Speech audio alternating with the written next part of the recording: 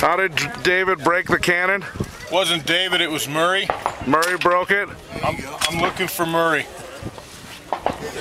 You don't want to break his cannon.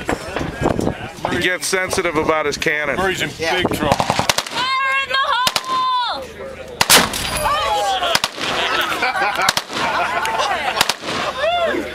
Fire in the hole!